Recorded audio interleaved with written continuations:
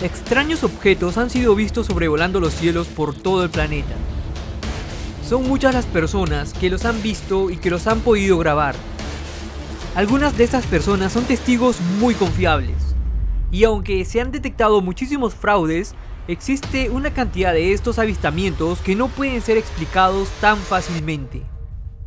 La teoría más popular es que estos ovnis serían naves espaciales extraterrestres que visitan la Tierra. Este tema es tan complejo que un solo video no bastaría para abarcarlo todo. Así que será solo una primera aproximación sobre uno de los misterios más mainstream. Y para tratar de encontrar una explicación al fenómeno, tenemos que volver a 1947, para examinar su génesis y estudiar sus consecuencias hasta el día de hoy. Si una nave extraterrestre cayó en Roswell, Nuevo México, este podría ser el acontecimiento histórico más importante de la humanidad. Porque por fin sabríamos definitivamente que no estamos solos en el universo. Algo que me queda claro luego de investigar el caso Roswell es que algo importante sucedió allí, y existen pruebas de que el gobierno norteamericano mintió, y estuvo muy interesado en ocultarlo.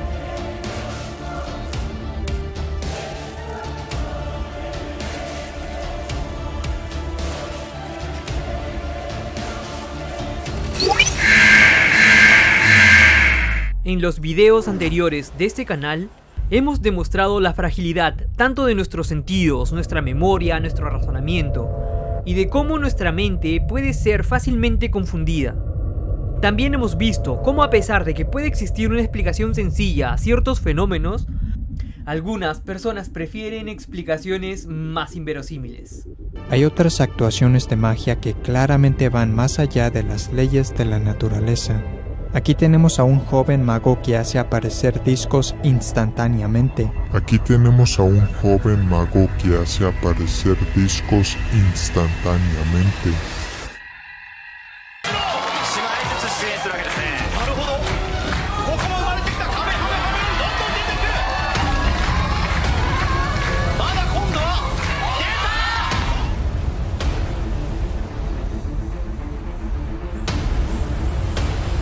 Esta actitud es comprensible y se explica por la manera como nuestro pensamiento trata de acomodar la información que recibe a sus propios patrones mentales, adaptándolos a su propio sistema cerrado que le ayuda a comprender la realidad.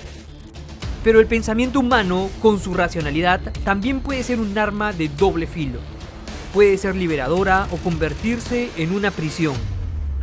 Por ejemplo, los locos parecen tener respuesta para todo, y es porque su todo es muy reducido. Pero sus explicaciones no dejan de ser racionales, incluso pueden ser irrebatibles, pero funcionan solo dentro de su limitada realidad. El materialista tiene la misma cualidad del loco. Pretende tener una explicación de todo, pero al mismo tiempo deja fuera preguntas muy importantes. Iniciando el sistema, cargando todos los parámetros y arrancamos. Hola, yo soy Kike Booster. Todo empezó en julio de 1947. Después de una tormenta, el granjero Mac Brazel encuentra un pequeño montón de escombros cerca de su rancho en Roswell, Nuevo México. Algunos de estos restos eran algún tipo de papel aluminio muy resistente, unas vigas de madera balsa y otros objetos metálicos. El granjero estaba seguro de que eran los restos de un platillo volador, y lo comunicó así al sheriff local. La base aérea de Roswell envió a dos oficiales a recoger los restos. Uno de ellos era el oficial Jesse Marcel, quien antes de llevar los restos a la base aérea, en la madrugada hace una parada en su casa para mostrarle los restos a su familia. A su hijo de 11 años le asegura que son los restos de un platillo volador. El chico no olvidará una especie de viga con unas extrañas inscripciones que parecían jeroglíficos, y que su padre afirmaban que eran como escrituras de otro mundo. Recordemos al hijo de Jesse Marcel, porque volveremos a saber de él 30 años después. Luego de estos hechos, el ejército emite un primer informe oficial, en donde afirmaba literalmente que se habían capturado los restos de un disco volador. Y la noticia se propagó como reguero de pólvora por todo el mundo. En este punto necesitamos explicar por qué el granjero, el oficial Jesse Marcel y hasta el gobierno están hablando de platillos voladores. Sucede que entre junio y julio de ese mismo año se habían estado avistando objetos extraños en los cielos. El aviador Kenneth Arnold, solo un par de semanas antes de Roswell, declaró haber visto una flota de nueve vehículos voladores muy extraños que no tenían cola y que describió que se movían como platos que saltan sobre el agua. El periodista que hizo el artículo malinterpretó la descripción de Arnold e inventó el término platillos volantes, aunque en realidad lo que vio el aviador eran objetos que tenían más la forma de media luna. Pero ya no había nada que hacer. Platillo volador fue el término con el cual el fenómeno se hizo viral. Al día siguiente del primer reporte, aparece un segundo informe oficial que corregía al primero. El platillo volador en realidad eran los restos de un globo sonda para observaciones meteorológicas. En esa época las personas confiaban en lo que el gobierno les decía, y el tema Roswell fue así que pasó al olvido. Pero los avistamientos continuaron. La semilla había sido sembrada. Las luces en el cielo norteamericano se multiplicaban y fue el propio gobierno americano el que la sembró y abonó. ¿Acaso el gobierno estaría usando esta confusión a su favor? El incidente Roswell quedará en la congeladora y no se sabrá más de él por algún tiempo. Los años siguientes sirvieron para que la planta germinara y fuera creciendo. Nuevos avistamientos alimentaban la idea de una gran conspiración. Habían extraterrestres capturados, aparecían hombres de negro para intimidar a los testigos, mientras otras personas eran secuestradas por grises para sus malvados experimentos. Estos fueron los frutos que en los años siguientes iban alimentando la cultura ufológica. Fue de esta manera que la temática ovni era tendencia y se convirtió en un producto muy atractivo para el cine y la televisión, capaz de generar millones en ventas de libros no tardó mucho en aparecer la contraparte a los grises, los nórdicos, conocidos como los hermanos mayores, unos seres benéficos venidos de las Pléyades y otros lugares remotos del universo, que incluso se dejaban ver y fotografiar por algunos personajes que se hicieron muy populares en esa época.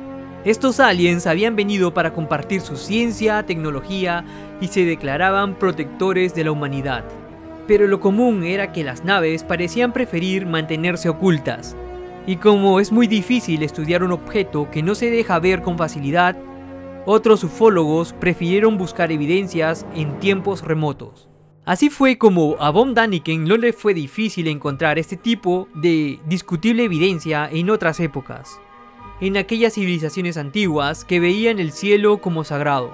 Fue de esta manera que von Daniken pudo incluso encontrar referencias y descripciones de naves espaciales en las páginas de la Biblia. Hubo otros intentos por tratar de explicar este escurridizo fenómeno de manera más científica, como Jacques Vallée, un astrofísico que afirmaba que los ovnis podrían relacionarse más con algún tipo de manifestación psíquica. Pero estos intentos fueron opacados por otras teorías que parecían llenar mejor el vacío espiritual de una generación influenciada por el materialismo. Entonces surgen nuevas asociaciones en donde ya no era importante el contacto físico con estos seres, bastaba un medium. Al mismo estilo de los espiritistas que se pusieron de moda en el siglo XIX. Estos mediums establecían comunicación con estos mensajeros del espacio, pero también estaban los contactados que aseguraban haber sido invitados a viajar a otros mundos en estas naves espaciales, y que ahora eran los intermediarios de estos guías extraterrestres. Maestros ascendidos, comandos espaciales, hasta el mismo Jesús formaba parte de esta cátedra de maestros espaciales que mediante escritura automática o telepatía transmitían su sabiduría a la humanidad desde todos los rincones del universo. Este nuevo conocimiento, gracias a su etiqueta de científico, tuvo mucho éxito entre los que habían abandonado las creencias tradicionales para abrazar esta nueva espiritualidad más moderna y que habían sido elegidos para una nueva era. es que los alienígenas también anunciaban la inminente llegada de un nuevo tiempo, de una transformación de la humanidad y por supuesto su próxima llegada a la Tierra. Lo curioso es que había tantos mensajes como mensajeros, y entre ellos no se podían poner de acuerdo. Quizás en lo único que coincidían era en su rechazo a la religión tradicional. Son los 70 del siglo pasado, y la temática del oculto y paranormal están en todo su apogeo. Las personas se sienten muy atraídas por estos temas misteriosos. Por eso los libros de temática paranormal abundan, y cobran fuerza las asociaciones de personas que se relacionan con lo oculto en todas sus variantes. Hasta ese momento, Roswell había sido prácticamente olvidado, pero la efervescencia de la temática ovni paranormal significó también la mejor oportunidad para que Roswell reaparezca. El físico Stanton Friedman se une a uno de los testigos del caso Roswell, el hijo del oficial Jesse Marcel. Así es, el chico que había visto los jeroglíficos y que les dije que volveríamos a saber de él. Ambos recolectan más de 60 testimonios de testigos del incidente 30 años después de los hechos. Esta nueva versión revelará detalles desconocidos hasta ese momento, que serán reunidos en un libro que se convertirá en todo un éxito en ventas. Este libro narraba una historia diferente a lo que se conocía hasta ese momento. En esta nueva versión se menciona el accidente de posiblemente dos naves, la captura de sus tripulantes extraterrestres y también las implacables maniobras del gobierno para encubrir esta información. No es posible que todos estos testigos hayan mentido, pero deberíamos considerar algunas reservas antes de darles una total credibilidad, sobre todo porque pasaron más de 30 años, y es fácil que pueda haber alguna confusión de fechas y los testimonios podrían corresponder a otros eventos extraños sucedidos en esa época. Sin olvidar que el autor del libro, Charles Berlitz, era ya famoso por otras obras de temática paranormal como El Triángulo de las Bermudas, La Atlántida o El Experimento Filadelfia. El famoso escéptico James Randi acusó al autor del libro de falsear datos conscientemente. Ahora, años después, podemos confirmar que sus libros decían muchas cosas alucinantes, pero con muy poco sustento.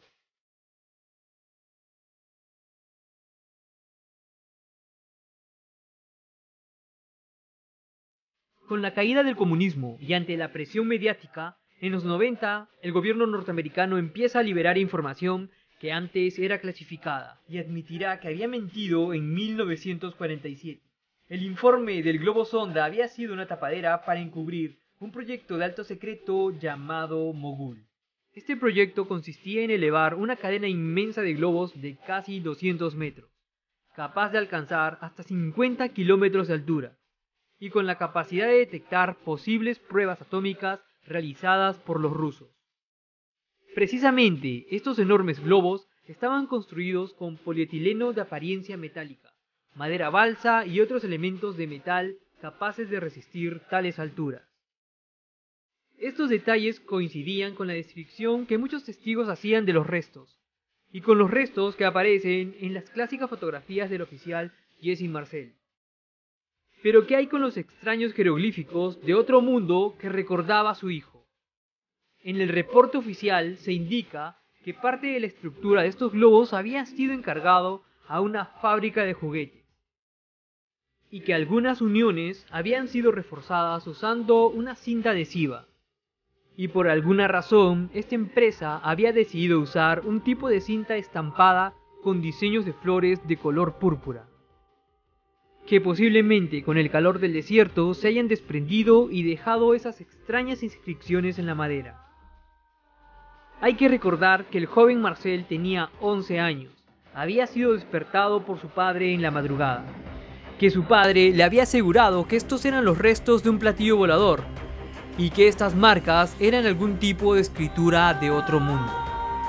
¿Qué hay de los supuestos cuerpos encontrados? Los informes desclasificados también hablaban del uso de maniquíes de prueba. Animales como monos y hasta prisioneros de guerra que fueron usados como sujetos de prueba para diversos proyectos secretos.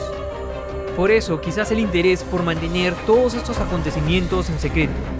y la conveniencia de usar el tema extraterrestre como tapadera a lo que estaba ocurriendo.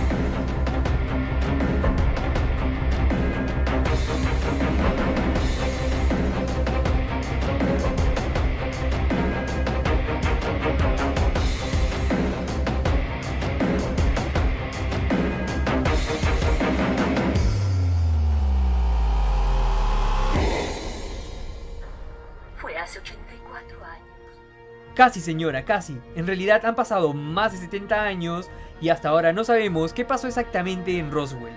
Pero hoy sabemos que muchos de los libros, fotos, videos, autopsias y testimonios que surgieron después fueron fraudes para ganar dinero o fama aprovechándose del boom del tema. Otros testimonios podrían ser malas interpretaciones o recuerdos confusos que adaptados por un diestro escritor de ciencia ficción podrían hacer la historia más interesante. Los profetas que anunciaban la llegada de los extraterrestres, cada año que pasa, tienen que seguir posponiendo su llegada. Y muchos de los ufólogos que en un principio estuvieron entusiasmados con los extraterrestres y que rechazaban la religión, hoy confundidos, parecen incluir en sus nuevas teorías para explicar este fenómeno ideas sustraídas de la teología cristiana.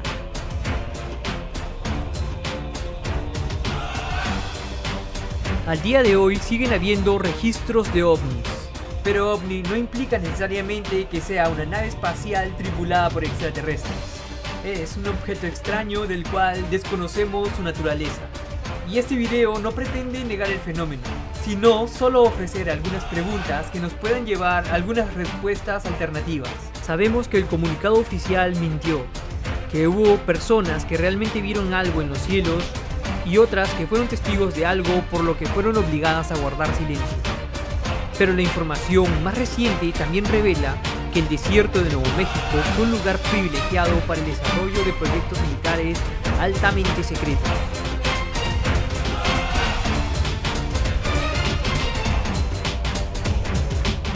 ¿Y por qué las autoridades estaban tan preocupadas por encubrir estas pruebas?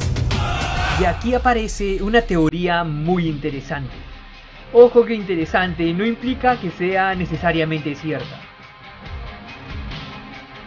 Con la caída de los nazis en 1945, Rusia y Estados Unidos se encontraban en una competencia voraz por hacerse con los secretos de la tecnología alemana. Los norteamericanos iniciaron una operación secreta para capturar la mayor cantidad de científicos nazis que formaban parte de esa élite y que habían desarrollado tecnologías muy superiores a la que los aliados tenían. Fue de esta manera como un grupo de científicos nazis fueron llevados al desierto de Nuevo México para que continúen sus investigaciones y ayuden ahora a los Estados Unidos a desarrollar todo tipo de avances en la aviación y en su carrera al espacio. De hecho, después de la guerra, tanto ambos bandos desarrollaron proyectos de platillos voladores. Ahora sabemos, gracias a documentos desclasificados, que los nazis, antes de que finalizara la guerra, estaban experimentando con naves de combate más rápidas y más peligrosas, y también se encontraban trabajando desesperadamente por desarrollar una supernave. Los nazis poseían prototipos de aviones de despegue vertical y otros vehículos y armas muy adelantadas, que de haberlos desarrollado pudieron haber cambiado el curso de la historia.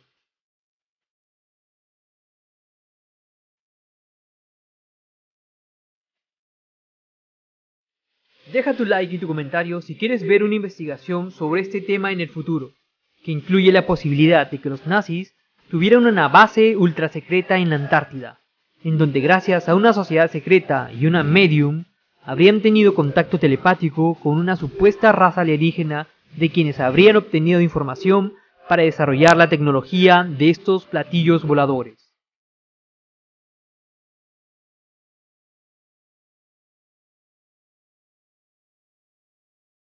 Pero este video ya se ha hecho demasiado largo y ha sido bastante complicado realizar esta investigación. Hemos tenido ovnis, paranormal, un poco de historia y su toque de magia al inicio. Así es que espero que se hayan dado todos por servido. Muchas gracias por ver y ya lo sabes, espera muchos más videos.